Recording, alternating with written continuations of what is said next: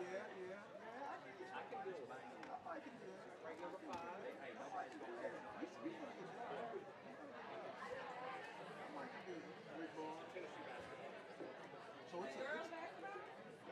Oh, Tennessee means that's why I don't Tennessee means football. They're five minutes so we're just going to hang on a minute. Know he should have left Miss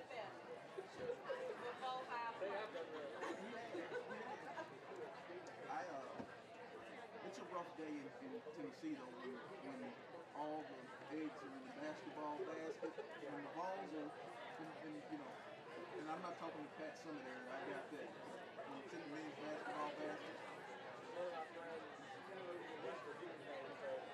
they're, they're doing both right now. You know, like, They lost to Buffalo, you know, they're in basketball. And I was like, is, uh, Huggins, is he Yeah. still there? you know, it's about you go, West Virginia shot, uh, shooting shot. Yes. Five on the fifth. So this It's basketball, basketball season. When you're looking for the basketball season, it's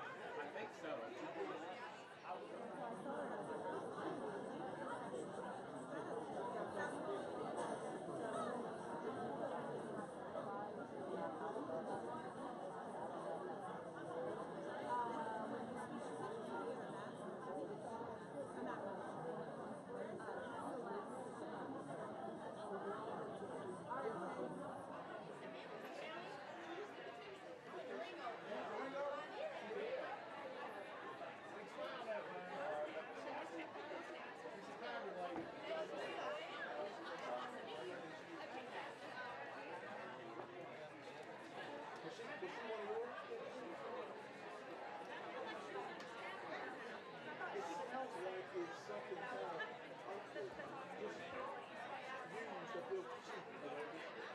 you.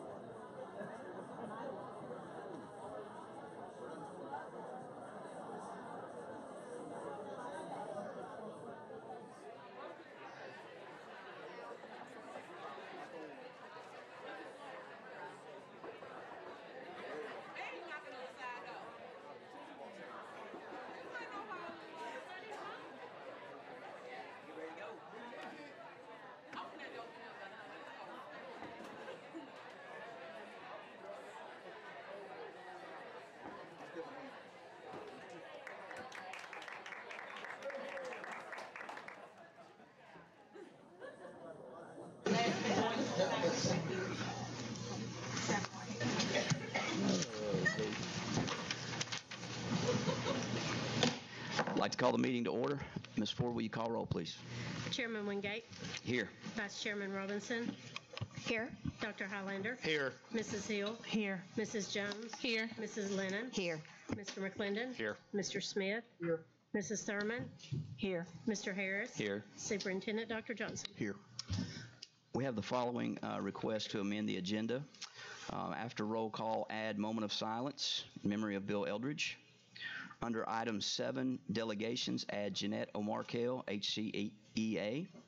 Under item 11, board matters, add Dr. Brian Johnson, revised schedule of sessions, calendar revisions for 2018, 2019, 2019, 2020.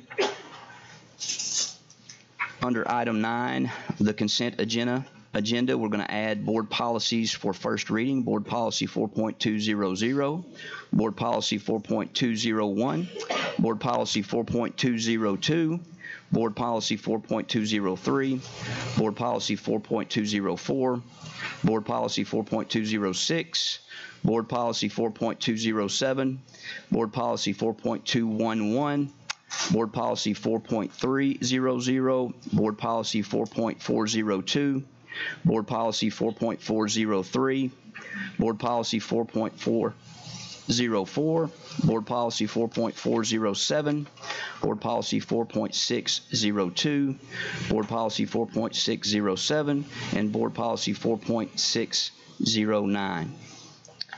Ms. Thurman.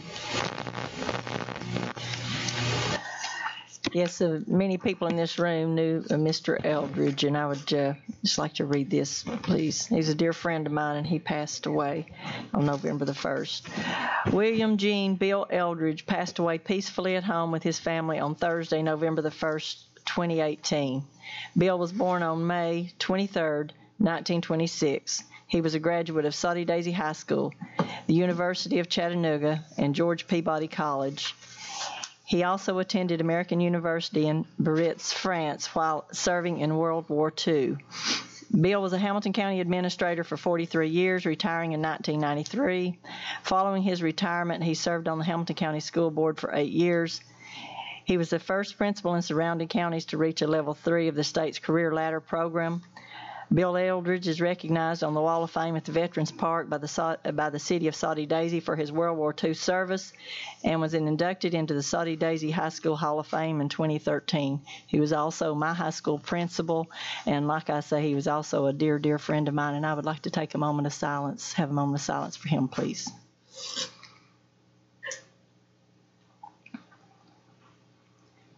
Thank you.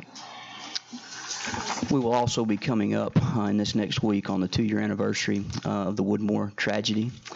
And uh, I would also like to take a moment of silence at this time for those uh, children, their families, uh, the community of Woodmore, and the school, and our community as a whole.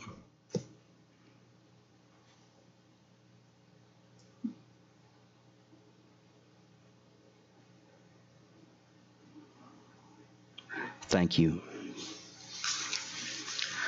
We will now have our pledge to the flag and our meditation led by Ms. Jane Reynolds, principal of Soddy Daisy Middle School.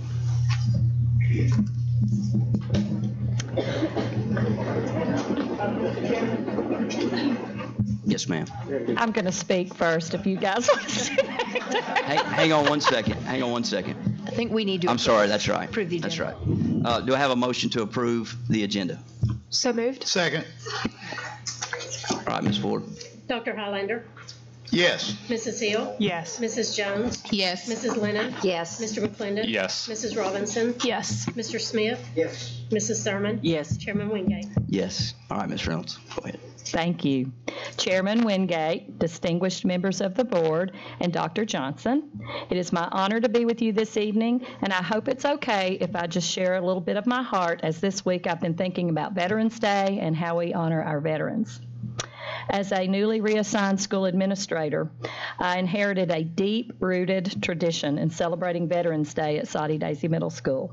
In fact, the entire town comes out big for Veterans Day.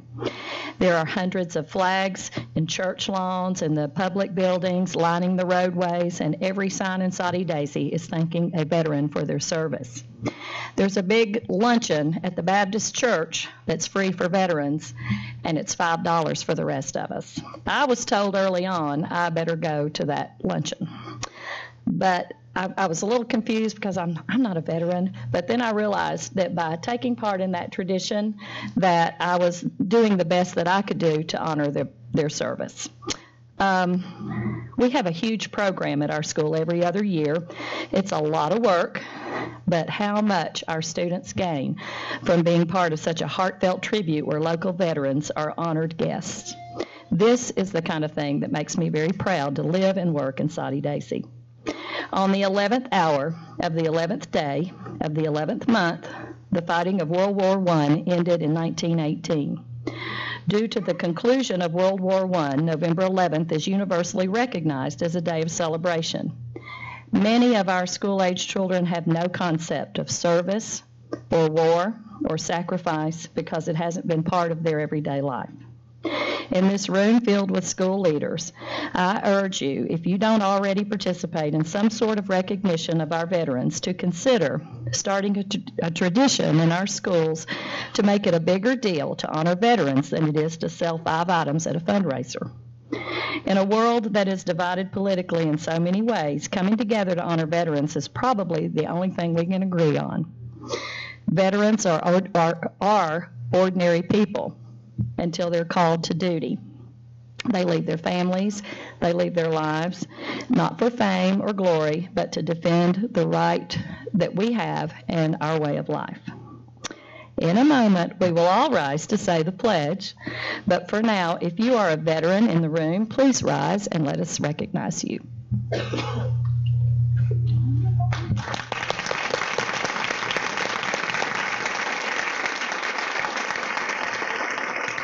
And at this time, if everyone would stand and join me in saying the pledge. I pledge allegiance to the flag of the United States of America and to the republic for which it stands, one nation, under God, indivisible, with liberty and justice for all. I feel like I should say you should be seated for the moment of silence, but I won't say that. Thank you. Thank you, Mrs. Reynolds. Next, we will have our exemplars of excellence. First up, we have Miss Jill Levine, Dr. Zach Brown, and Dr. Leandria Ware.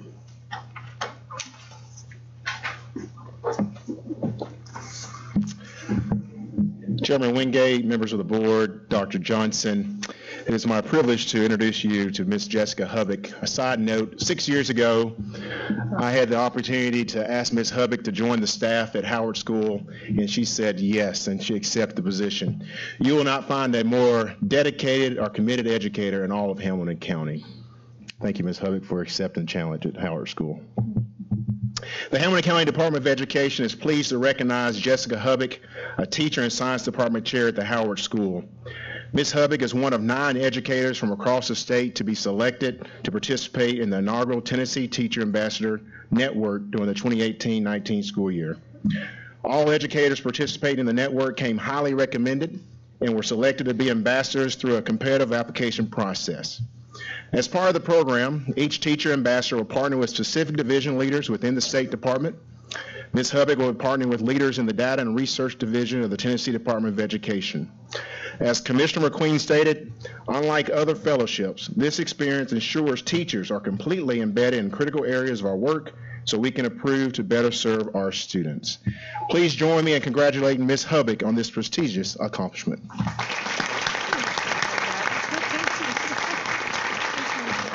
Ms. Hubbock, please come up and let us shake your hand.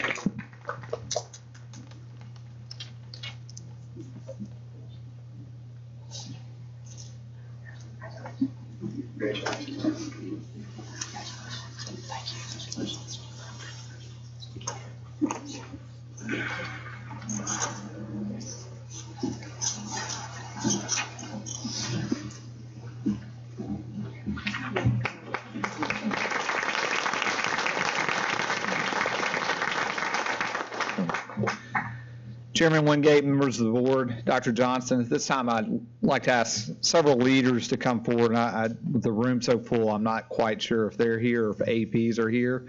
But I'm going to ask these leaders to go ahead and come forward. From Bess T. Shepherd, Miss Valerie Brown.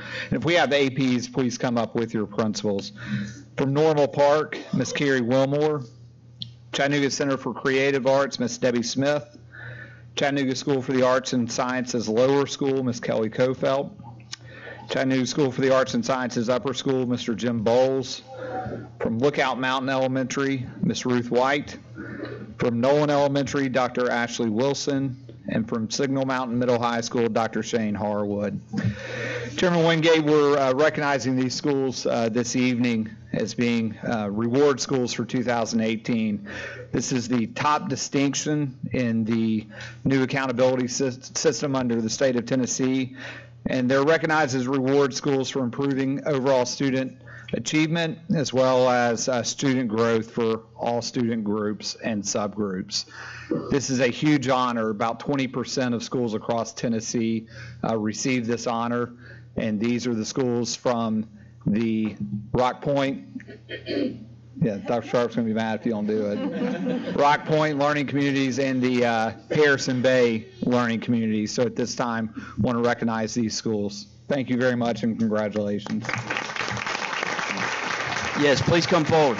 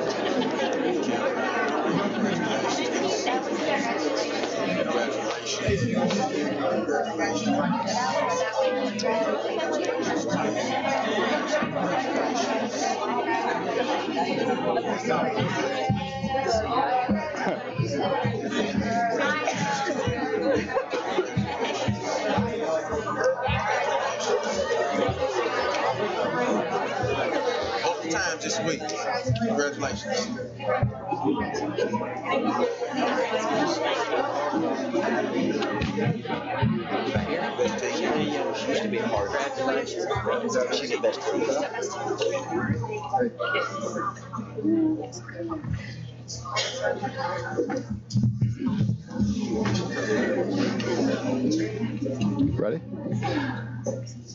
Uh, Good evening, uh, Chairman Wingate, Board. Thank you for having us uh, this evening to bring to you uh, what now has become a tradition for us to present to you um, athletic teams who have competed at the highest levels in our state. And uh, the teams we're presenting to you tonight finished as either state runner-ups or state champions uh, during the fall season with the TSSAA. And this first team, you see standing in behind me right now with their head coach Debbie Hill is the state runner-up in Class A girls volleyball, Sale Creek Middle High School.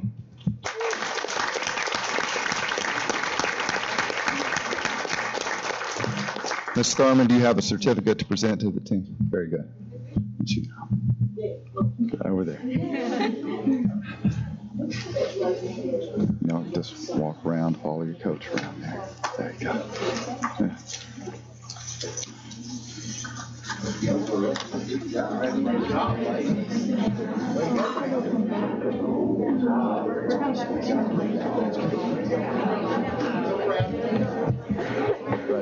Thanks for, thanks for coming out tonight, too. Thank you. Good job.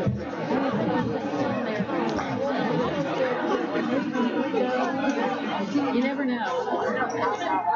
But it won't take long. Let's go. We go that way again? No. Yeah. And really, uh, Now you can have roll guys. In this area.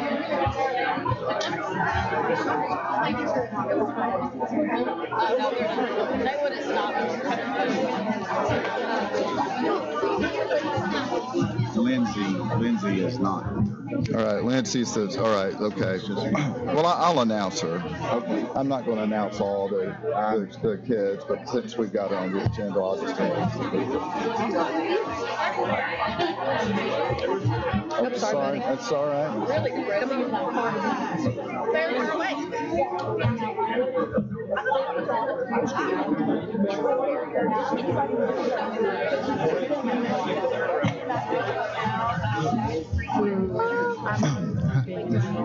Okay.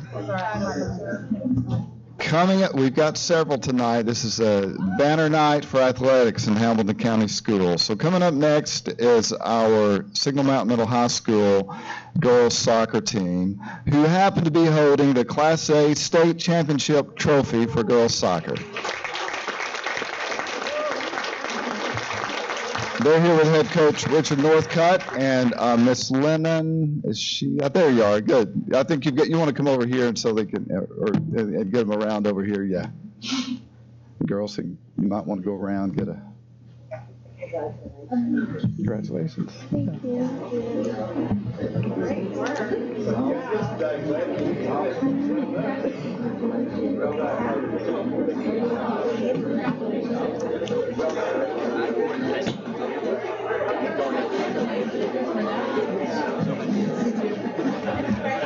Thanks for coming out. Congratulations. How are you? I'm doing good. Good to see you.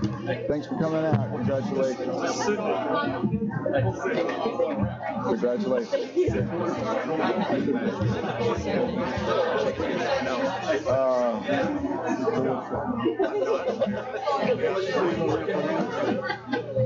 Good job, girls. Nice.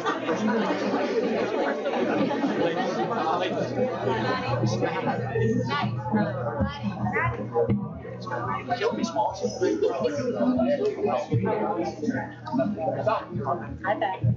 Okay, very good. Um, now we have a, uh, the second group we're going to recognize tonight. They all standing over here to my left is the um, the boys golf team from Signal Mountain, who also happen to be holding a large trophy for a state championship for the small class boys teams in the state of Tennessee.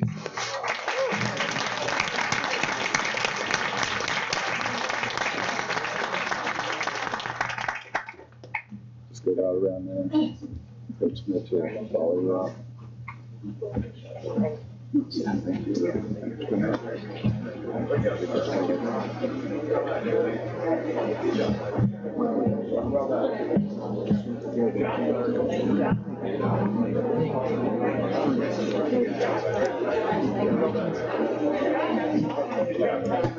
Yes, sir.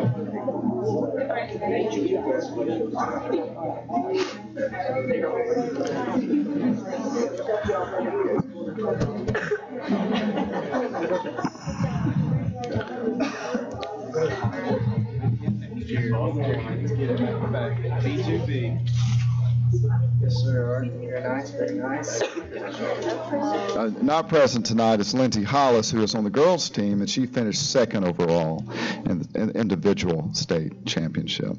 All right, now then, let's see. Is there, there wait? There's more trophies. Look at this. We got two more. They keep coming.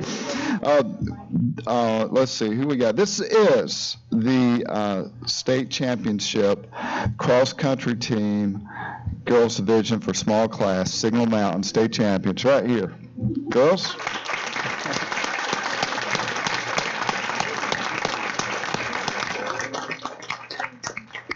Robert, is this the second year for them? Uh, this is the fifth over fifth time they've won the state championship. In six years. Fifth out of six years. Uh, thanks, Ms. Thurman, for making that point.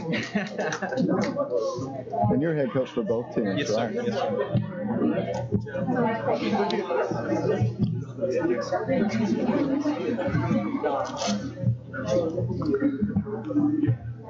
So uh, Maddie Parker, who, who was in that group of girls that just came by, she finished second overall individual in the state, and that's a wor- uh, worthy uh, accomplishment as well. Uh, boys division, which is here with uh, Coach Carpenter, who's the head coach for both teams. Boys finished second overall in the state this year, and it's and. Coach Carpenter, if I'm correct, is that the highest finish in the boys' history ever? All right, Very good. All right, thank you.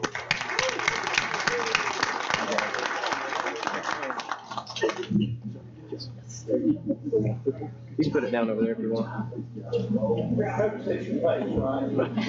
That's it. No, no.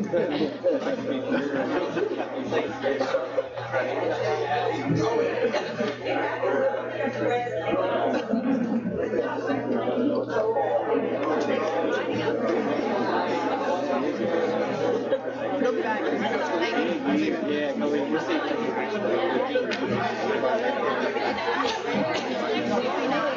go in. We'll Really nice. And they got keys in their phone. I was about to say, it's just a jacket. No problem. But so is the powder. There you are.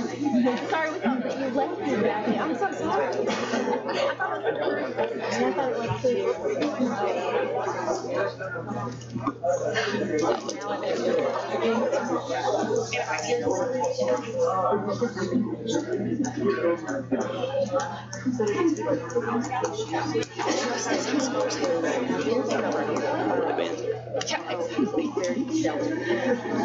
I will say, you know, we, we just added a, a countywide AD position, and man, that thing's really paying off, Mr. Jackson.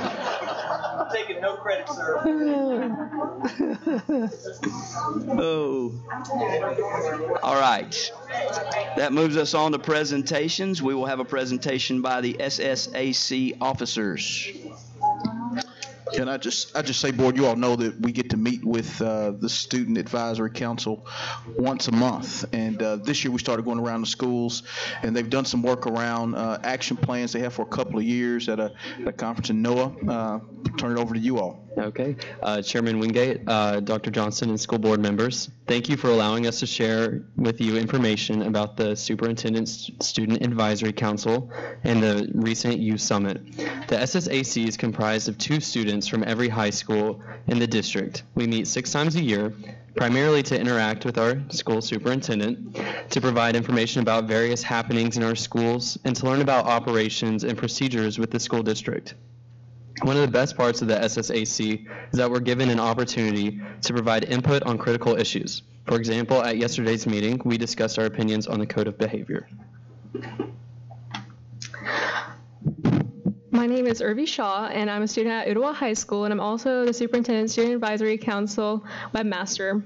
The Youth Summit was an important training opportunity for student leaders to look specifically into their individual schools and look for improvements. A total of 266 students attended and were trained by STARS on strategies to improve the school climate. During this training, we worked with our school teams and discussed positive things about our schools and then things we could improve. Afterwards, we focused on developing an action plan to build to build up our school climate and culture. The action plans were taken back to our schools, shared with our school administration in effort to uh, work towards our goals and establish that we established during the event. Uh, hello, I'm Xavier Chavez. I'm a student at CCA and I'm the secretary of the SSAC.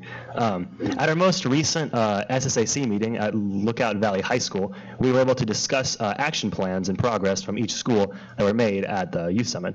Um, one in particular we noticed was the Principal Student Advisory Councils that were created, um, inspired by the SSAC at many schools, including uh, Lookout Valley, Red Bank, and uh, Sale Creek. Um, in addition to that, some other of the action plans that were implemented was something called Mix It Up Mondays, which is once again what Sale Creek was doing, which is uh, an event during their lunchtime where they would uh, move tables in order to uh, decrease clicks and um, increase the amount of student cohesion throughout the whole school. Um, and then my school, CCA, actually, uh, in the spirit of increasing student voice, has recently um, uh, taken up having students do many of the morning announcements, and uh, we're very thankful for our principal for allowing us to do that, and um, for the SAC for giving us a uh, chance to share our uh, plans.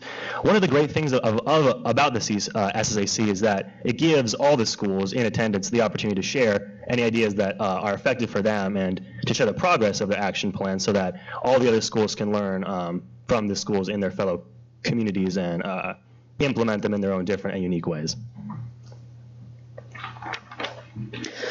I'm Veronica Robinson, and I attend Collegiate High, and I'm vice chairperson. So overall, we, the student representatives of our Hamilton County School District, are, commi- are committed to making a positive difference in our schools. We pledge to be a part of the solution rather than be a part of the problem. Our theme for the Youth Summit was improving the culture, and so we present to to School Board Chairman Wingate our signed commitment of the 266 participants to this ongoing process of working to improve the climate and culture of each of our schools.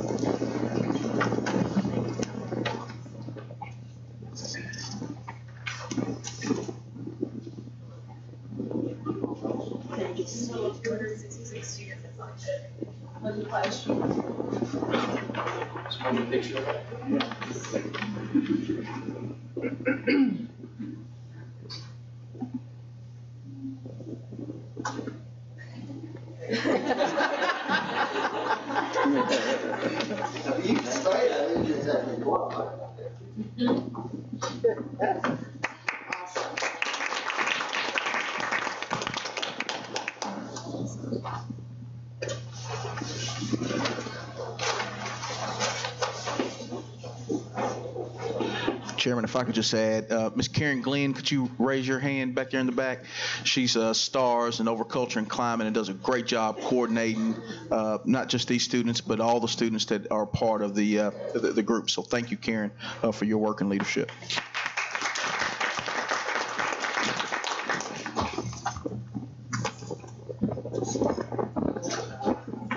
All right, next we'll have a presentation regarding our Future Ready updates. Mr. John Maynard. Yeah. Thank you, Chairman Wingate, school board members, Superintendent Johnson, for having me, and a special thank you, Ms. Thurman, for that, for my principal too, and uh, I appreciate that, thought of him. Yeah, and school board person, so appreciate that. Um, I'm going to update you tonight on the Future Ready 2023 uh, report. John, you're just going to have to talk about CTE a little bit till we get the right report up there. Oh, okay. It's coming. All right. So, so I'll. I'll give a high level go as a transition to slides. You know, one of our goals is future ready students and making sure that we are uh, preparing all of our students and exposing them to uh, really challenging and rigorous coursework. And obviously, there's been much talk about um, career technical education opportunities and really ensuring that we're exposing our students to career technical education opportunities. So you'll see John, he'll start out, he'll go through some of the key performance indicators that are there, uh, but then also talk about some of the work uh, within our system, uh, kind of school by school, uh, and where we are, and kind of some next steps. So, uh, so as, as they get ready to pull this up, that kind of gives some framing and context to, to what the presentation is. Can you find it?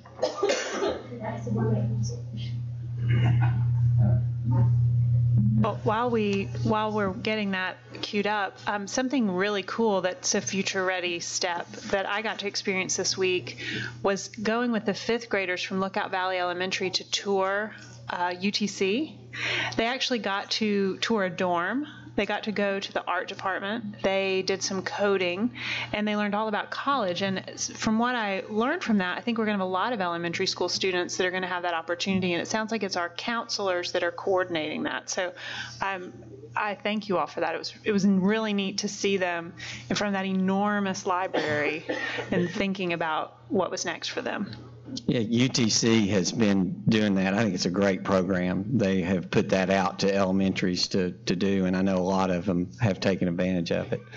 So, um, John, we have the presentation. If you just want- yeah. Oh, okay. I'll just start it. That'll be good. Keep going. uh, I want to update you on the Future Ready students, which is the number two of the Future Ready 2023 plan. And the, uh, if you could see the screen, I've got two or three reminders for you. Uh, and one of them is the uh, KPIs, the performance indicators that uh, go along with the Future Ready students. Um, and then the key strategies are to engage every child and prepare all students for college and career. And we're going to kind of focus on the second key strategy, preparing all students for college and career. Um, and we're going to go about doing that by continuing to create some non-traditional pathways to graduation, like our Gestamp program, our Volkswagen Mechatronics Academy, our Polytech Academy. We're really going to also work hard in the high schools at expanding our EPSOs, our early post-secondary opportunities. I know Dr. Johnson mentioned y'all talked about this this weekend at the retreat, but uh, we're trying to make sure that every student uh, has the opportunities for more advanced placement courses, more um, dual enrollment, dual credit, IB, industry certifications. Um, and so we're trying to make that accessible to all students. So that's a, a big part of this work. Um, we are also working towards developing what we're calling Future Ready Now, uh, which is to try to build out the work-based learning program where we have, you know, we have students right today that across the street at this plant, there's 10 students. They made uh, $10 an hour working four hours today, and then they took a bus about a mile down the road here to the other Gestamp plant and um, worked in their learning lab, finishing up their high school work online. Uh, they are part of a certified apprenticeship program. I don't know if y'all saw that. Um, so I'll get us moved forward here to, oop, went too far, didn't I? And then we also are launching and developing our Future Ready Institutes and everything that's involved with that. I'll kind of, I'll dig into that just a little bit deeper here in a moment. Dr. Johnson asked me, he said, "What? Give us a give us a good definition of career and tech education." And I'll tell you, I love what our school board and our uh, school administrators did, our school district, with this second bullet on future ready students, because it says our overarching mission is to ensure our students are successful after graduation, work to help. Well, in my mind, I, you know, our overarching mission of CTE is the same. It's to ensure our students are successful after graduation, work to help students identify interests, skills, abilities, pursue their preferred options for college and career. We're going to have 13,000 students that will take a high school or middle school career and tech edu- education class this year, which I'm I'm proud of that. But I I really want to you know a, a goal of mine is to is to get keep moving that needle up. I know most of y'all might realize we actually get more state funds from the state for every student we have in CTE programs. So it behooves us in multiple ways to, to keep building our programs up, not, not just because of the funds, but of course because of the opportunities that the students get in these programs.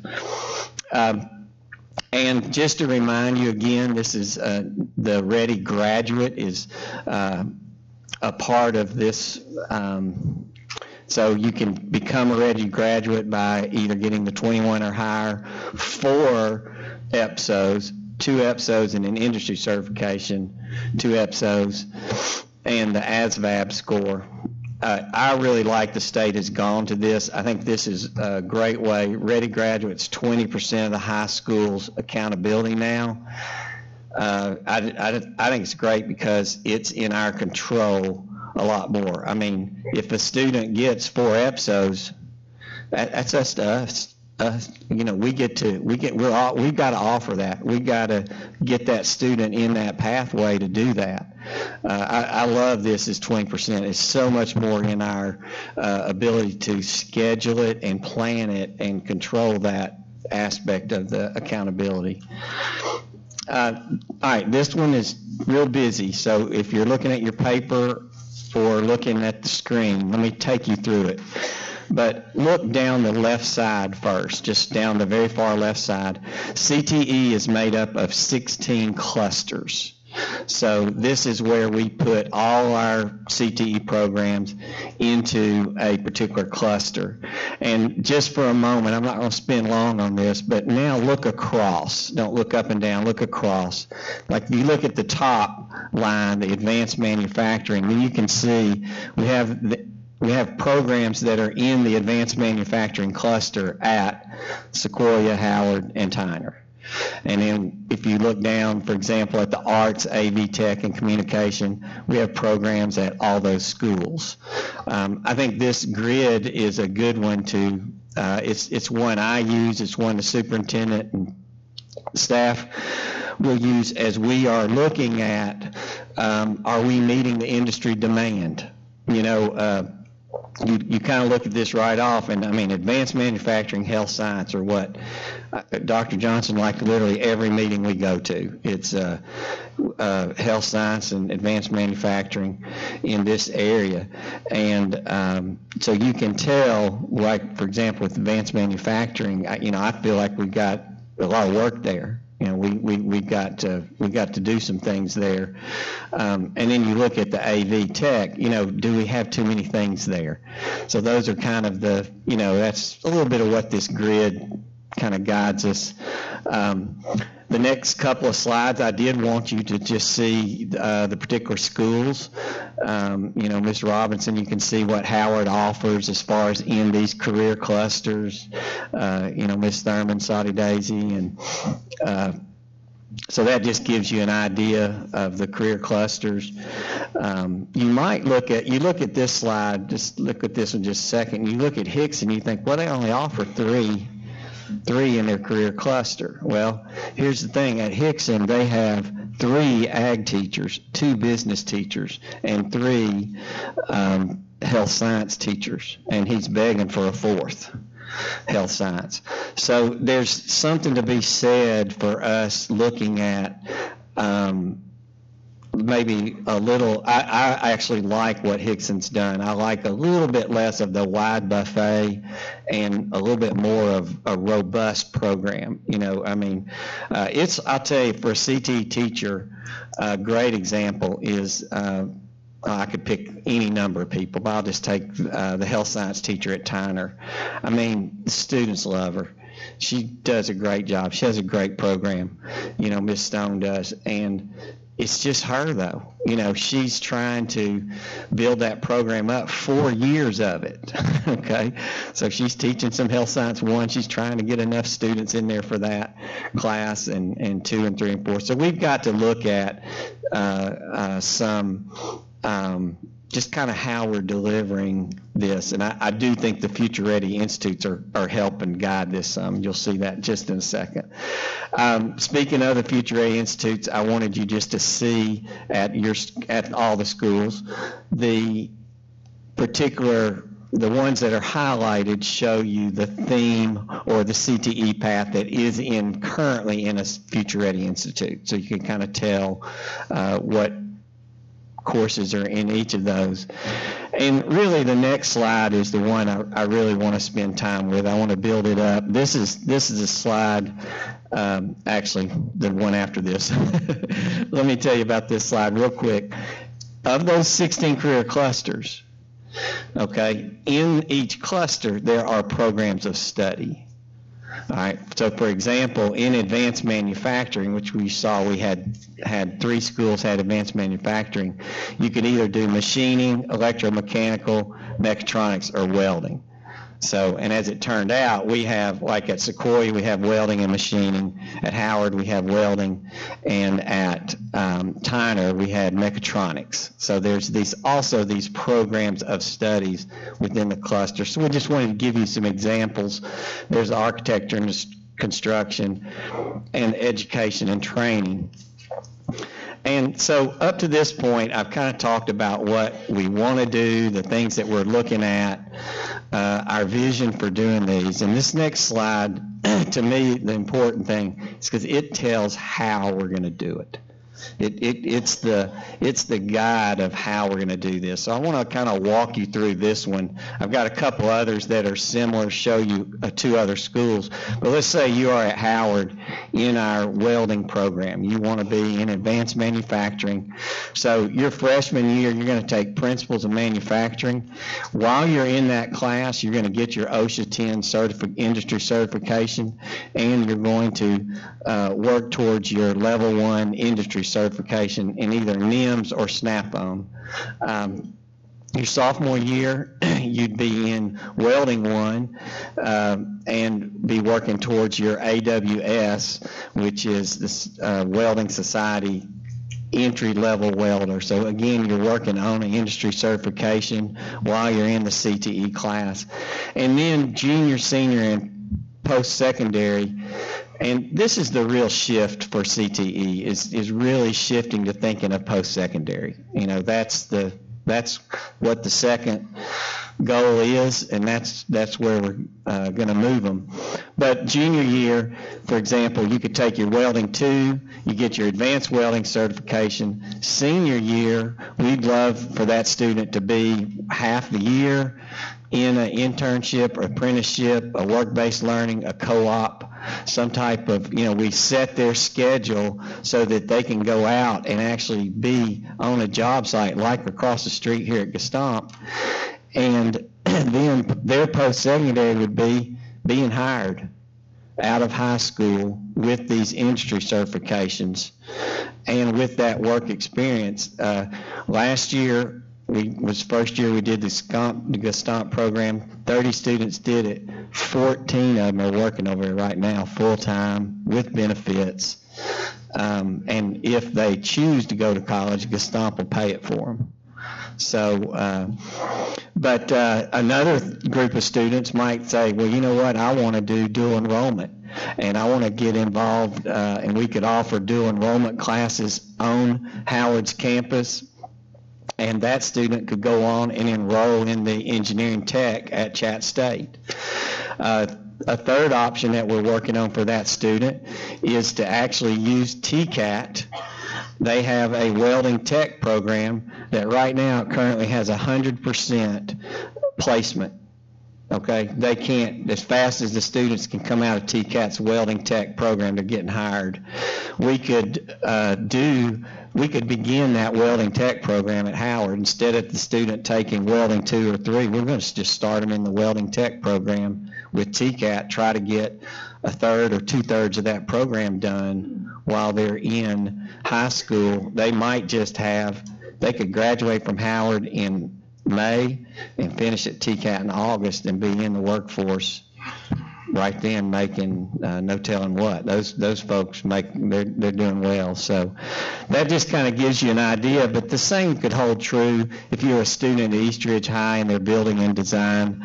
Um, this is what we're working on at East Ridge is you know the fundamentals of construction. If you wanted to be an electrician sophomore year, you're working towards an NCCER, which is an industry certification, and then kind of you can see the same similar types of pathways. TCAT, Chattanooga State dual enrollment, and um, straight to the job on the industry certifications. And same type thing with the, uh, if you are in our Teaching and Learning Future Ready Institute at Tyner, uh, taking fundamentals of education, having mentors, field experiences, um, take teaching as a profession one, get a local dual credit with Chattanooga State's program. And then I want to call your attention to that top line here because junior year you could take teaching as a profession two, and senior year, uh, and I want to compliment uh, our head of HR, Mr. Fogelman. He's uh, broke broken ground for us now on hiring our own students. Uh, we've got three students at Tyner right now that are being paid as seniors, work-based learning, that are working at Brown Elementary and uh, Shepherd Elementary. We're going to do a lot more of that. We're talking about doing that with HVAC. We're talking about doing that with other areas because let me tell you something these the students will be great employees. They're very very they're so coachable. They are you know they want to work. A lot of them need to work. A lot of them this is why they're having a hard time in school is that they're having to work in the evening. Well if we can do that during the day while they're in a career field while they're getting credit you know that's that's uh, that's what Okay, I got uh, Dr. Johnson. Sorry, I, I get a little excited talking about talking about these opportunities, but uh, so I'll, I, I'll keep us moving. But uh, of course, our next steps, you know, looking at building out the future ready institutes, we want to optimize uh, the the building that we have at Hamilton County High. We've got some plans moving forward there. Uh, the TCAT high school model, that's what I was talking about earlier. Our teachers, instead of potentially teaching like welding two and three, we actually start using our teachers as TCAT instructors um, and really building out more future ready now programs. Uh, we've got the Gestamp one I talked about, the Tyner one I talked about. Uh, right now, Volkswagen's telling us if these students, if a student will go through this AMPA, which is an online um, advanced manufacturing production assistant program, it's got so many hours. We've got three or four instructors trained on it. They go through that program. They're saying they'll hire them. Uh, they they've got that much with the the new lines that are coming on out there, um, and so you know, that's a, that's a neat opportunity. Um, You know, next steps, and, and this is getting to where, uh, you know, we've got to look at our deployment of resources. We're going to have to look at um, uh, what programs we have where, and you know, some of them, y'all, we're going to need to retire. And there's some things that we need to be doing that we're either not doing or we're not doing enough of to meeting the industry demand. And those are things, of course, that that Dr. Johnson and staff and I work on. Uh, but that's that's a that's a, not an easy thing either because a lot of times these the programs are kind of entrenched um, and uh, so but we're going to look hard. We're going to uh, I've committed this year to making sure that you know board members know and Dr. Johnson will if there is going to be some type of move. We're going to try to give y'all heads up ahead of time. But really nowhere we're not thinking of anybody losing something and not gaining. We're thinking of moving a few things around. But we need to build them up. We need to build up robust programs at all the schools.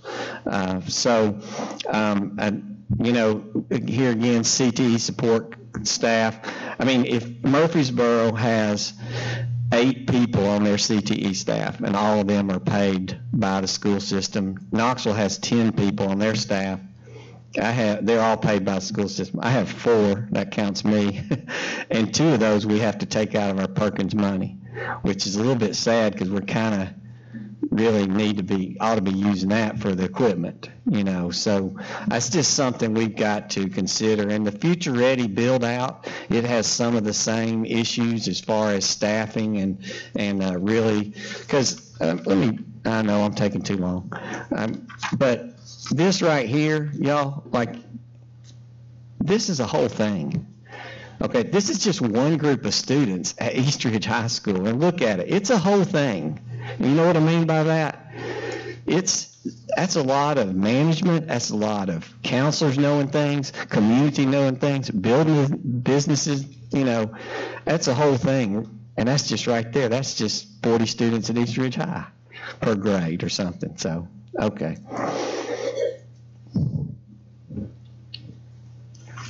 Thank y'all. Thank you, Mr. Mayor.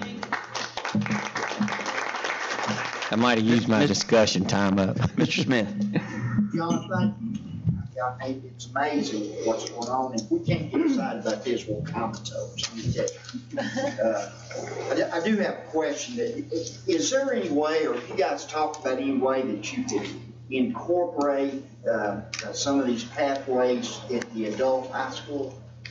Has there been any conversation about that? At Hamilton County High? At the adult high school?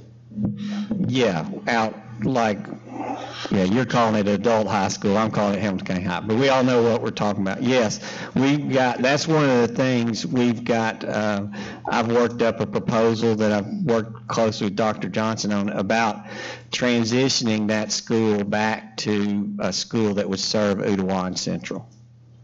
So we're looking at what it's going to take. We actually had a huge break about a month ago. I guess I can say this, but uh, uh, TCAT Chattanooga is redoing their welding program in in their building, one of their buildings, and they came to us and said we need a place to put our welding program while we're remodeling. And oh, by the way, we're going to get all new equipment, and we'll leave that equipment wherever we go, they figure it's worth about $500,000 what they're going to do. A welding program is very expensive. So we're, I'm pretty excited. Uh, We're going to get to have a welding program out there. Now we got to figure out how to get the students there to take advantage of it. And that, I, I didn't mention that was the transportation bullet on there, is there is some, you know, there is some things that we want to do that's going to, we, we got to get Udawan Central students there, or actually with the, uh, uh, they would have future ready institutes, and so any student could go there.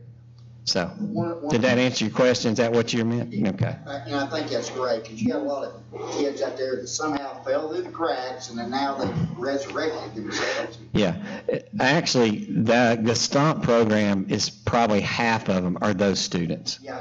They, they, right now, I mean, I think that's been great for that, uh, that group of students, the, the adult high school And students. the, the, the job that they do out there is incredible Yeah, anyway. yeah. So, Yeah. uh, one, of- one other just thought, i- is they're in these different career paths and, and, I mean, they still got to do their math and their English and, and all that stuff. And I think I mentioned this before, just to kind of be on the radar screen, but those, uh, those, I- and I'm really not sure what you even call them, graduation coaches or whatever that, what, what's the official title? Yeah, I, you know, I don't know how those guys do it just working part-time. And, uh, you know, and I, and I know. Yeah, you're talking about the college and career advisors. right, Yeah, right. Hey, I'm all over this. They, uh. You know, I know that comes with a you know, price tag, but man, yeah. we got to figure out a way that those guys can work. We're having a hard time keeping them because it's part-time too. We, we train them up, we get a real valuable and, and, uh, uh, you know, I don't, I'd say every one of y'all in here probably know one of them, you know, at, at your schools. And, uh, we get them trained and then it's just not worth it to them necessarily to stay or else they're staying because it's a good cause. And, you know, they're, they're doing it because they're committed to it. We have had a lot of turnover lately. So that's a concern. Ms. Mosley Jones? Um, I have a question about the whole collaboration with the TCAT program at Hamilton County High. Would Chattanooga State or the TCAT program be incurring some of the costs for that building? I know we spent a lot of money on that building for the amount of students that's in there. And so I'm just wondering, would, in collaboration, would that be a discussion of possibly picking that up? So maybe if we wouldn't spend a lot of money on the building, because TCAT was in there, you could use the money to go somewhere else? Yeah, I know Not that's more of a much. Dr. Johnson not question, much. probably. Maybe you could answer that. Well, are you, Oh. are you, um, so the equipment that's coming is coming from TCAT? Yeah, the Um, equipment they're donating, so- basically. So we're not really incurring any costs as far as uh, the equipment that's coming in. Uh, o- Obviously, maintenance will work with them to see how we can leverage the setup, and there's some uh, moving out of old things that are obsolete and things of that nature. Um, I don't know if that's getting at what you're But asking. that, they're only gonna be there for eight months, six or seven months, and then leave everything, and then we hope to move students back in there now. Okay, I guess my concern was with, with the population increase. I, I think I just have, a, and I never really say anything about this, but I really Yeah. just have a concern with the amount of kids that are in that building and how much it costs us to use that. Yeah, so we have building. several buildings. I think uh, when you look at our utilization report, we have several buildings that we know we have to have intimate conversation about. John's in the infancy stages of working on uh, a Sequoia plan where, you know, there may be some partnership with TCAT. Uh, You know, kind of across our district where we are from a utilization context, Hamilton County High is definitely one of those schools where there's got to be real conversation about how do we maximize that building. I think looking at Central and Ottawa are really good options uh, to consider uh, really how we leverage those buildings in a more uh, intentional way. I'm just going to, um, Joe Smith was going to add one thing we're also looking at is uh, we've had a lot of really good conversations with the chamber, uh, Chattanooga State, uh, around, uh, and just uh, Blake launched some uh, industry councils we did uh, started actually yesterday. And what we're really trying to leverage, leverage is are there opportunities for uh, apprenticeships, externships, things of that nature for kids, for teachers as well, uh, and really trying to move from um, from being uh, really uh, static in one place to really mobilizing to the communities. Uh, because once you start to really talk about some of the the challenges that you know we experience, whether it be East Ridge, whether it be Howard, whether it be you know in Soddy Daisy, it doesn't matter where it is. If it's kind of in one location, it's hard to get everybody. With as big as our county is, it's hard to get everybody there. So we've really been having conversations about how do we mobilize ourselves, how do we leverage our buildings as places, as hubs for training and skill development uh, for parents as well as students. So all those are conversations that you know we'll continue to have. Obviously, there's a much deeper conversation to be had about um, capital and building and maximizing usage. But um, but then there's also just some some conversation to have around, you know, how do we take what's there and I and I'll use Sequoia even though we didn't go into Sequoia today. Um, how do we take what's there and really maximize it and develop some partnerships? that really could help us uh, move those buildings forward. So, yeah. Ms. Hill. Um, I wonder within these programs, is there any kind of um, soft skill work that's being done? We as a board have been talking a lot about those things that employers look for, you know, the ability to, to be on time, to work in a team, to speak with a group. Um, and I know that some other school districts have created kind of a work ready diploma. Uh, is there Right. a component? We have, uh, we do the work readiness diploma also, um, had several, well, everybody that had Volkswagen last year received one just about. But um, I- I'll just tell you, the, the short answer is yes, I think our CTE teachers would tell you they're doing that. Okay. However, I'll tell you, my answer is, if we can get, let me tell you, these students at Gestamp, they got it. They have to be there on time. They have a boss. They get docked. They if they get six points, they get fired. They're back at the high school. We've had that happen a couple of times. Uh, um, there's nothing like moving towards a more work-based learning, internship, apprenticeship model, especially for our seniors. It'll flat out teach them that. Like you take these three Tyner students going to those elementaries. They got to be there at a certain time. They've got a boss. They've got to have customer service. They, you know what I mean? Like, and they coached them up before they went on soft skills. So I'm, I really hope, I'm wanting us, and I know Dr. Johnson is too. He's he's pushing me on it, and, he, and I don't need a lot of pushing, but he's pushing me on these on the job opportunity because I think that's where they really get it. I mean, they get it when they, hey, listen, we've got uh, three students Uber to work to Gestamp. They don't, they don't, they take the bus. They can't rely on their family transportation to get them there. They Uber there and pay for it. Dr. Highlander. Uh, I just want to commend you, Dr. Johnson and John both, for trying to utilize Harrison Bay back again as for a vocational use. Those bays have been sitting there; they're unheated, and you know, but they're rusting, and we're renovating those and putting them back into use, and that's great. I, I do think the adult high school is very beneficial. We've got kids there that are getting diplomas that would not be getting diplomas.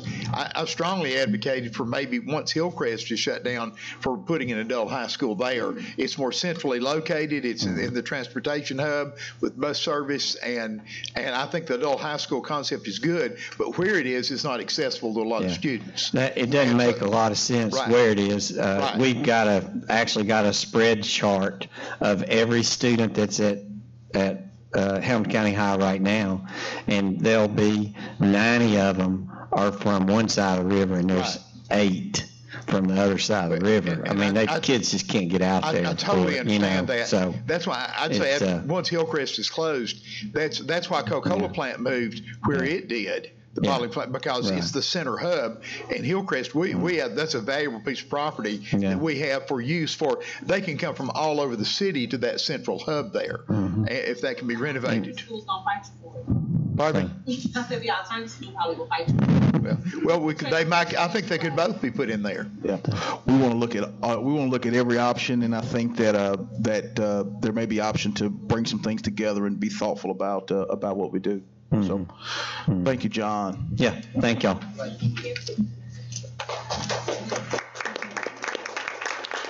We move on to our delegations. We have Ms. Jeanette O'Markell from E HCEA. Thank you for your interest in addressing the Hamilton County Board of Education.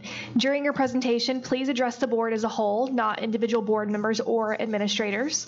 Also, do not present complaints or concerns you have about an individual employee of the school system.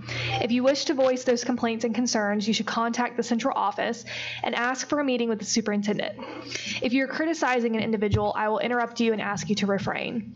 If you continue to criticize individual employees, or if your remarks are in error or are becoming repaired, repetitive, I may interrupt you and ask you to sit down. Please limit your remarks to five minutes. I will tell you when you have one minute left. You may begin. Thank you. Greetings, Chairman Wingate, Dr. Johnson, and board members. This is National Education Week. The National Education Association was one of the organizations and creators and original sponsors of American Education Week. Distress that 25% of the country's World War I draftees were illiterate and 9% were physically unfit, representatives of the NEA and the American Legion met in 1919 to seek ways to generate public support for education. The conventions of both organizations adopted resolutions of support for a national effort to raise public awareness of the importance of education. In 1921, the NEA Representative Assembly in Des Moines, Iowa, called for a designation of one week each year to spotlight education. In its resolution, the NEA called for an educational week observed in all communities annually for the purpose of informing the public of the accomplishments and needs of the public schools and to secure the cooperation and support of the public in meeting those needs.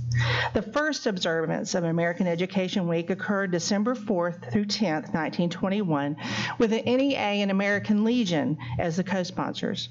A year later, the then U.S. Office of Education joined the effort as a co sponsor, and the PTA followed in 1938.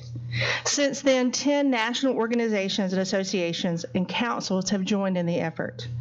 American Education Week is now celebrated the week prior to the week of Thanksgiving each year. Traditionally, this week has been spent and uh, has been spent as a time to honor and to appreciate our parents, our education support professionals, and our substitutes. But I feel that we would be remiss in not recognizing another very important group that needs to be honored, and that's you, our elected school board members. You are important trustees of the public education system. The most important responsibility you have is to work with the community to improve student achievement and in all of the local public schools. Your educators appreciate your commitment to a vision of high expectations for students' achievement. Your strong beliefs and values about students' abilities to learn and our ability to teach all children at high levels. You show accountability is important as you reach out to central office, your schools, and your community for input and direction. This collaboration is an important part of your work as you seek to make the best decisions for the district. We have witnessed you researching and seeking to understand the data and using that to look at the best use of resources to meet the district goals. You are a strong team, with each of you bringing your unique perspective and gifts to the table. Hamilton County Education Association wants to present you with a certificate of appreciation for your commitment to edu- public education in Hamilton County and to thank you for all that you do to support public education. Thank you, Jeanette.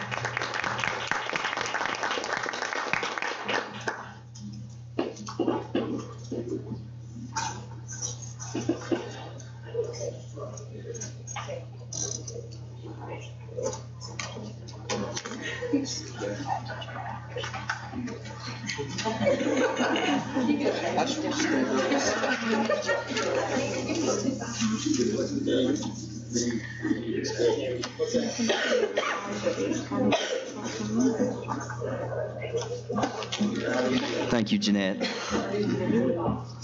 Next, we need to approve the minutes of the October 18th meeting. Do I have a motion? So moved. Second. You ready, Ms. Ford? Dr. Highlander? Yes. Mrs. Hill? Yes. Mrs. Jones? Yes. Mrs. Lennon? Yes. Mr. McClendon? Yes. Mrs. Robinson? Yes. Mr. Smith? Yes. Mrs. Thurman? Yes. Chairman Wingate? Yes. Uh, Next, we need to approve the consent agenda. Do I have a motion? So moved. Second. Right. Do we need to have, um, any items we need to pull here? Go ahead, Ms. Thurman. Oh, uh, I'm sorry. Okay, I want to pull uh, 9B1A CSAS upper trip to uh, Madrid, Spain, please. Dr. Highlander. That's one I was going to question also. Yep, I'd like to pull 10A2.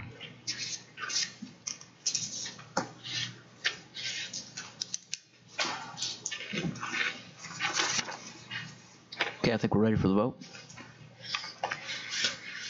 Dr. Highlander, Yes. Mrs. Hill, Yes. Mrs. Jones, Yes. Mrs. Lennon, Yes. Mr. McClendon. Yes. Mrs. Robinson, Yes. Mr. Smith, Yes. Mrs. Thurman, Yes. Chairman Wingate. Yes. Ms. Thurman. Uh, yes, this is one of the trips that I've talked about in the past. It's, it's taking place from June the 7th through the 22nd. Uh, the kids are not in school. Um, this is just something that I, I think if they want to go, they can go. I don't know why we have to vote on this. If something happens, that puts us responsible. Um, and so I just, I just don't know if, if they want to go on a trip or they don't go, why we have to sanction this trip. That's just my feelings. Dr. Highlander. Just a question that, I think the principal's here unless she left. They do pay, uh, the students pay themselves for this trip. Is that, is she here, Ms. Smith? That's correct. That is correct. It Do says we they have- get the money from families on the Right. Are the sponsors, I mean, the, uh, is there faculty sponsor going with them? Correct. There's two. Uh, Chelsea Glass, I believe, is the name. Trying to find it on here. Yes. Okay. Maybe I may redirect the question to Mr. Camp, our attorney. What, what is our liability, in line with what Ms. Thurman said, what do you think our liability would be on a field trip that we approve, that's student paid, uh, teacher directed? What, what is our liability on that? Well, I, I In suppose. general, in general, I mean, Generally, uh, that would depend, that would just depend on the circumstances. I mean, it would depend on, on precisely what happened. I mean, if anything did happen that would give rise to the allegation of liability, it would, it would be very fact-specific and very circumstance-specific. I guess what I'm thinking of the nature, well, I, I've traveled internationally, and there's some dangerous things, and, and I know it's good for, for, for Spanish students to study in Spain. I mean, that's wonderful, but but I'm thinking if there's an international incident, would we be held responsible for that, terrorism or whatever? Well, would, would the school system be held responsible? That I, I mean, it, it, if it is a, if it's a school-sponsored event, so it would fall under that umbrella. Now, ultimately, would the school be held responsible for, for some sort of event like that? I- I- We couldn't say. I mean, I cou- couldn't say right now, but.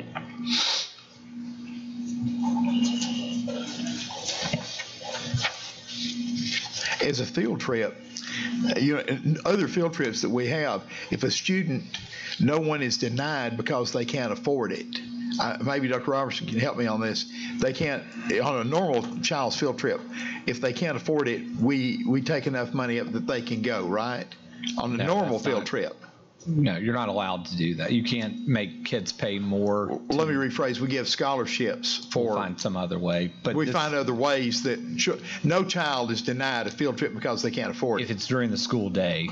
Okay. Since this is not during the school Okay. day, then that rule I would not wanna- apply. Is that right? That, that's what I thought. I Yeah, wanted to it has to be clarify during the school day, and it has to be connected to the curriculum. Correct. Uh, Okay. And this, uh, being outside, we've got, you know, just a little, Yeah, Scott. Scott clarified at our last conversation about field trips that overseas field trips were within our purview to approve. And that's why I wanted him to clarify, that's why I wanted him to clarify that. This is the, Anyone this is the that same asked. field trip, uh, and Ms. Hill's correct, that, that we discussed when we went over the policy a week or so ago. I mean, this was the exact field trip that uh, I believe Ms. Thurman brought up. Um, Just so happens that it comes up the very next meeting. All right, do we, do we have a motion to put that back on, or? Ms. Thurman? Okay. I motion to put it back on. I'll on. make a motion, yes, to put it back on. Second. Okay. Okay, Ms. Ford? Dr. Highlander, Yes. Mrs. Hill, Yes. Mrs. Jones, Yes. Mrs. Lennon, Yes. Mr. McClendon, Yes. Mrs. Robinson, Yes. Mr. Smith, Yes. Mrs. Thurman, No. Chairman Wingate. Yes. Ms. Robinson? Um, is Justin Witt here? Um, I, w- I just wanted to pull um, the CSX electrical easement request for Howard High School. Um, I certainly um, plan to vote. That's under. Oh, I'm sorry. Never mind. I don't need to pull anything. Thanks, Justin. Y'all let me pull it. Nobody corrected me. All right. You pulled it. I know. Never. Carry on. All right. So I believe that was all there, right? Yes. Okay. So now we'll go to administrative uh, business matters. Ms. Robinson. Alpine Crest is first. Oh, sorry. I'm sorry. I'm sorry. Yes.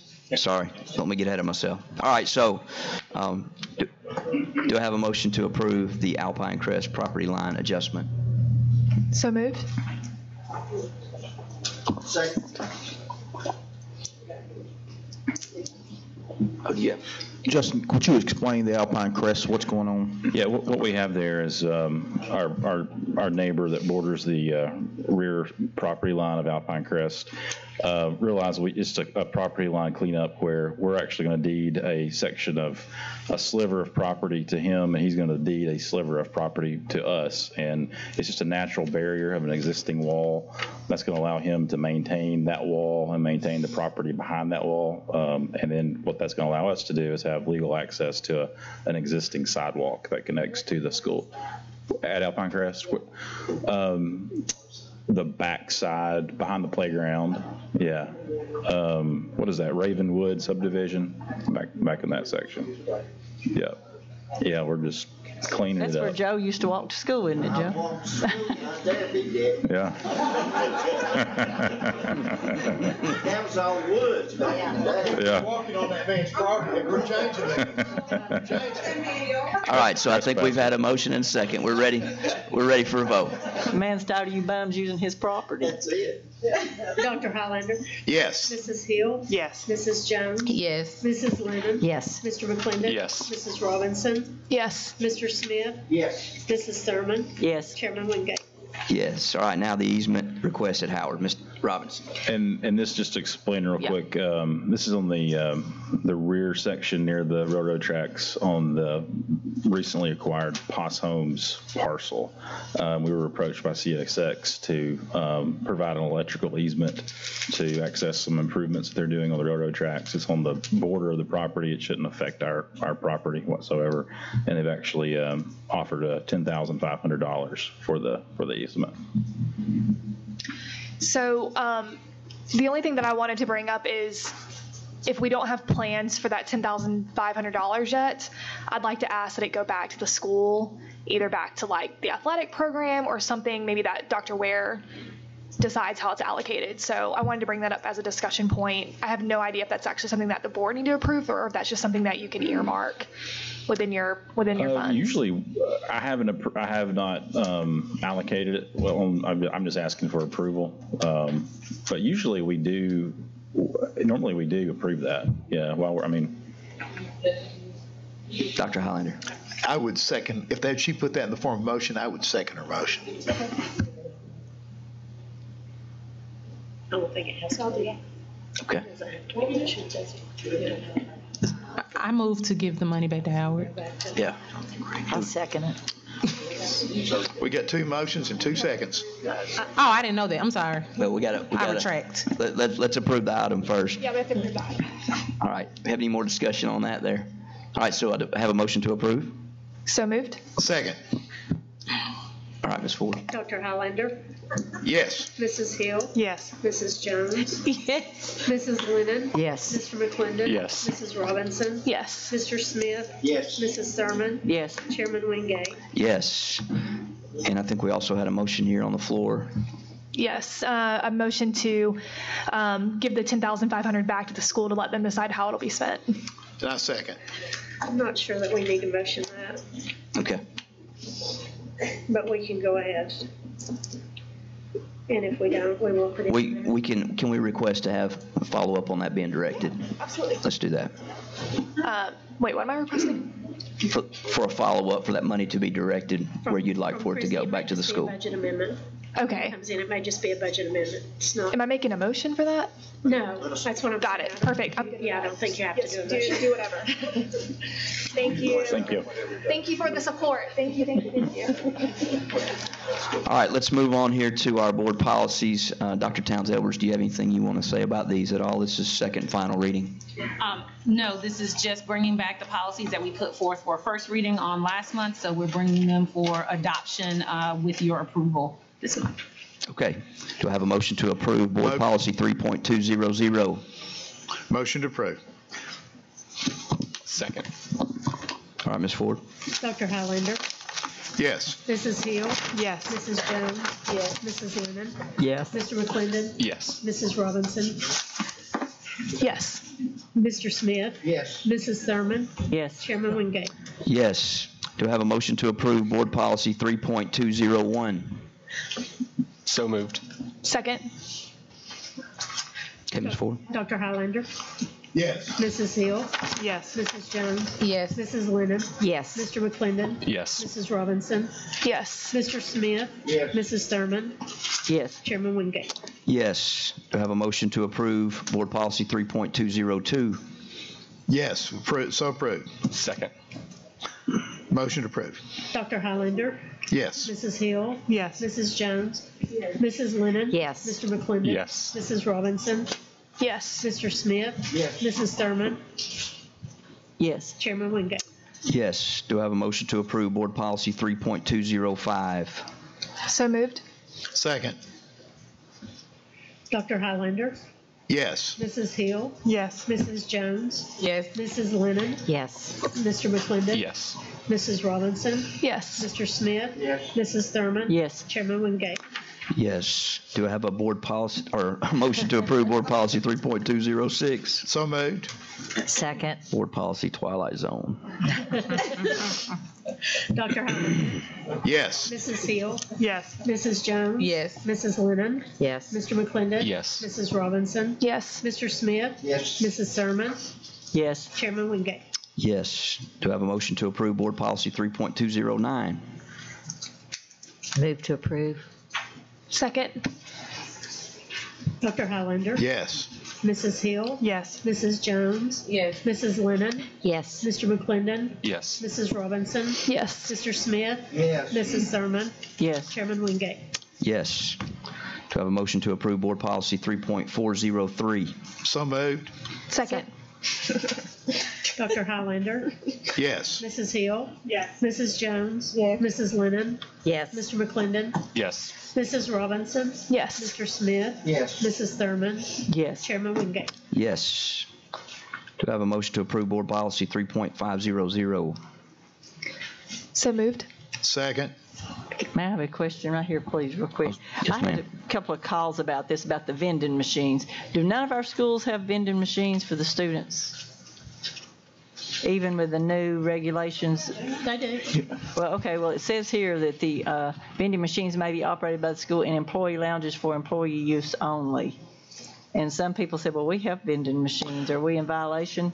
Uh, So, uh, you know, I- don't have, a a lot of people use the vending machine money to buy things at their school, but I I guess did, I didn't catch this when I read over this the first Yeah, there, time. there's some certain regulations um, in child nutrition, and and we can get Kristen Noss to speak to it.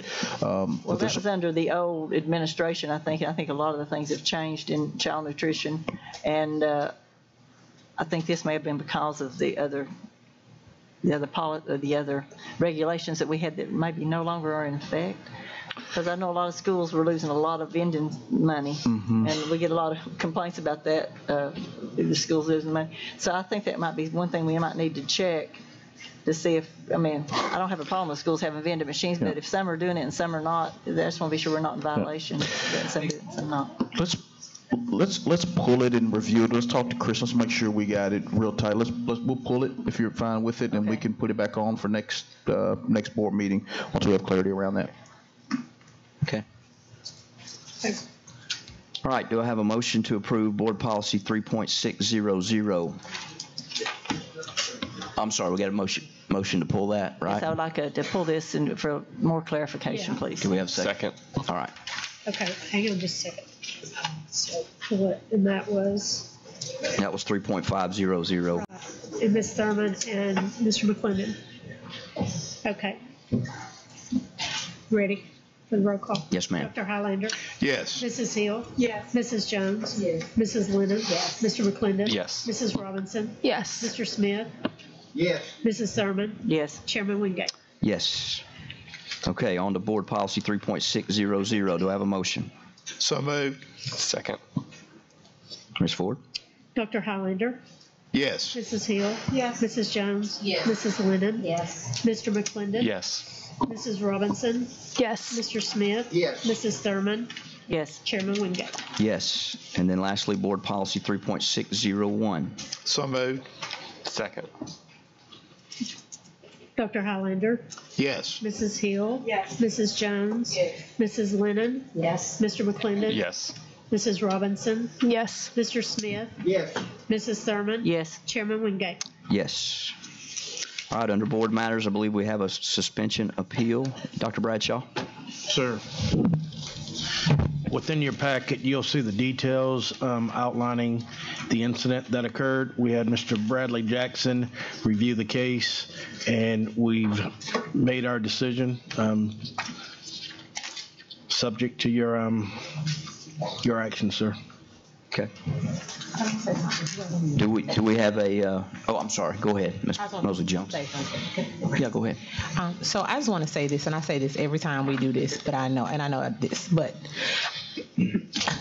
I want the public, and I really wish the, the students could hear this.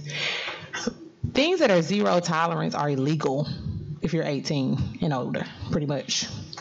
So a lot of times when they get um, into trouble or things happen at school and it's a zero tolerance offense and they go before Dr. Bradshaw and his team and they work really hard with them. And I know even with our previous um, board who reviewed these, um, when Lee was here, when they review them, they try very hard to make sure our students are still attached to some type of academic um, classroom setting, be it Washington, be it Ingenuity Online or something. The goal is not to disconnect them from learning. The goal is for them to learn that there is a consequence to a behavior.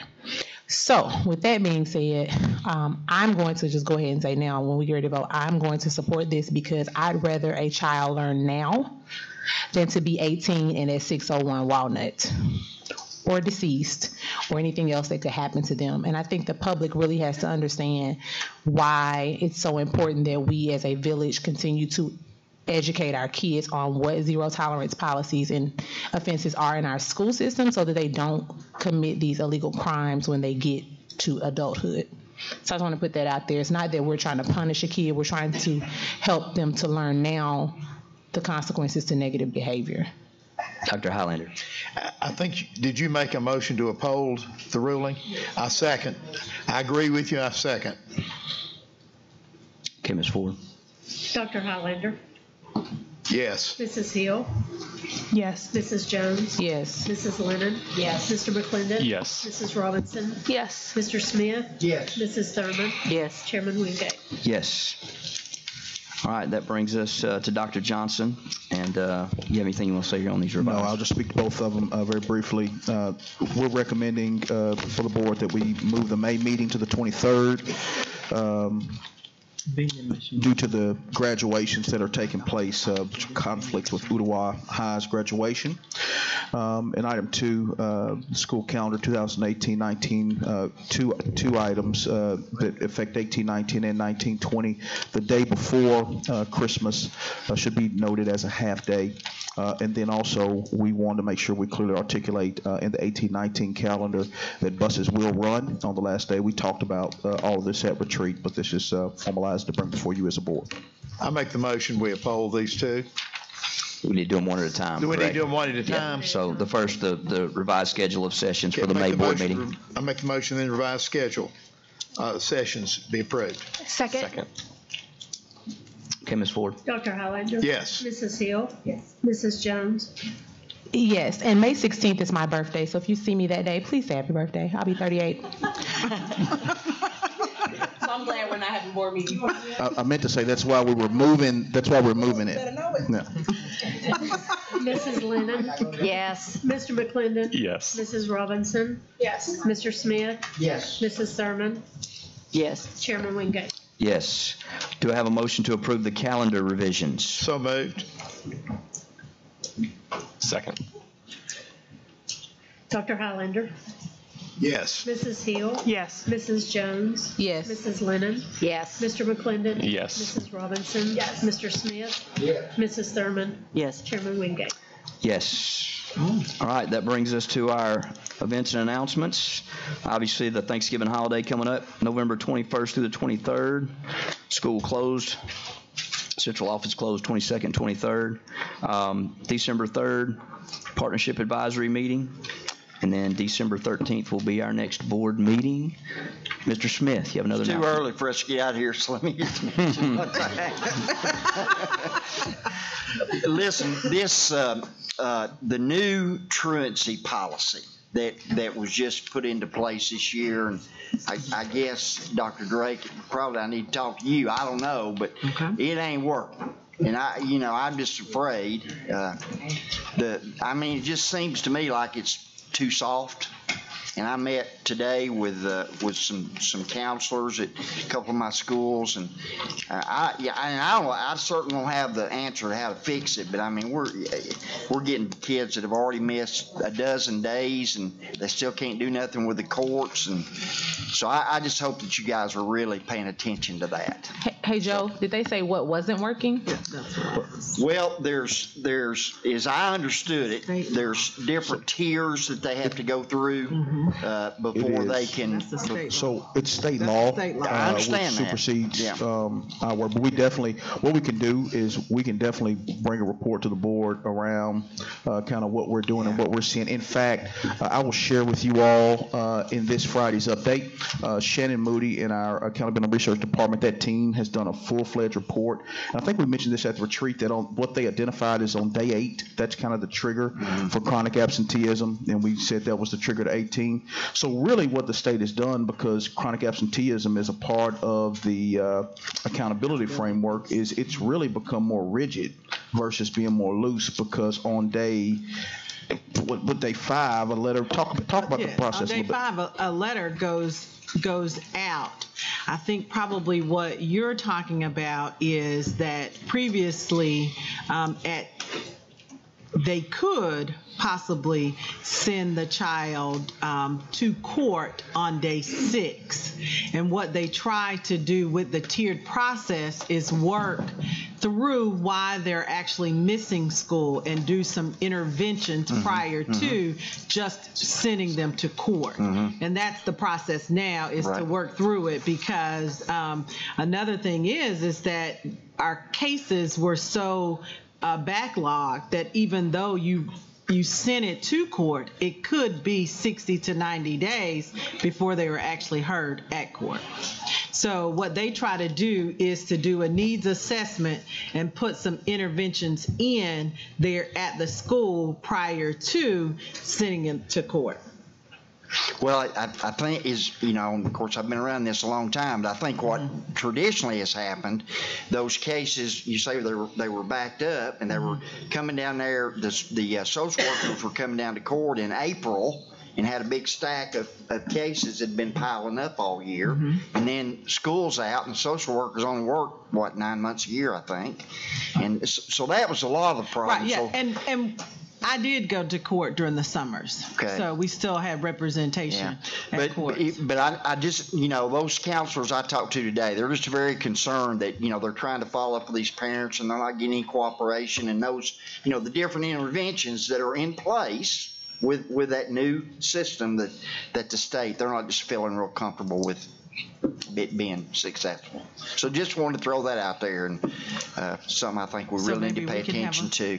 And, and you know, I, I- I don't believe it's a kid problem anyway. I think it's a parent problem.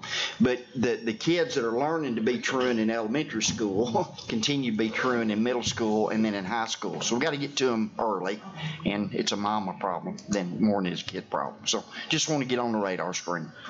Dr. Highlander. Uh, I just want to thank Tim Hensley. Put we had the Freedoms Foundation Valley Forge Educator of the Year was Finley King for his support of that, of that program, and a retired teacher, Diane Hale, who was a guidance counselor for many years and put, was the Teacher of the Year. She's recently retired. But uh, let me encourage any of you that have anything to do with the high schools that if they have, the children have an opportunity from any school in our county and, and the private schools as well to go to Valley Forge and with a chaperone. It's a highly educational program. They can write an essay. My daughter went and I sat under women in education. She she got to sit under Sandra Day O'Connor, who was the fi- first female justice on the Supreme Court. Bill Gates has been there. It, it's something that Ivy League schools will appreciate for the children to get. So let me encourage you to get your your young people to to write the essay for for uh, Freedom's Foundation. And thank you so much for that. Also, I have treats for uh, board members if they're not all gone. Ms. Thurman. Yeah, just real quick, uh, Dr. Johnson, I would like to see us meet with the state delegation. We've done this in years past. Meet with the state because there's a few things, uh, we talked about some of them at the retreat, about suspensions, expulsions, why the state punishes us for that. And I think that's really hurting some of our schools. The thing that Joe was talking about, I think they need to hear it from us and maybe have some of the counselors there to tell their situation and why it's a problem for them. And maybe, because if that's state law, like Nakia was saying, some of these things are state law. That's where we need to go because we can't fix that here and we need to talk to them and let them know our feelings. So um, to that point, we'll be sending a couple of date options potentially. We're going to try to get to them in December. Uh, We want to get them before they go to uh, Bless Up Delegation. We actually were just talking about this. uh, uh, Jenny Picard and uh, Kate Schoenberg are putting it together. So we'll have them in. We'll share a little bit about our district, but then let them hear uh, the work. So we'll get some date options out there. Mrs. Lennon. Um, We also talked at the retreat about the um, transportation policy work session happening after Thanksgiving. So can we send out a reminder about that? Because that's going to be, no, the week fol, next week's Thanksgiving, so that would be the week following. So you can. Next, the week of the 26th, and I know that we really need to get on that. I will because be of- out of the country that week. um, And then the next thing that I wanted to ask is, um, these policies that we are updating, um, I know that a lot of them, that principals really need to be aware of some of the changes, and h- are they getting all of this information? Because I, I mean, I think it's awesome that what you're doing, some of them haven't been changed since '04, and um, I think they, they will impact some of the things going on at these schools. Um, and as we are working on communication, um, I think it's crucial that principals know what these policies are. I get asked a lot of questions a lot of time. I think Joe and I even had conversation about um, sometimes the board gets blamed for things, then there's no policies about those things, and we say, oh, that's a board policy. No, that wasn't a policy. So I think that I hope that they're being aware of these policy changes. All right, meeting adjourned.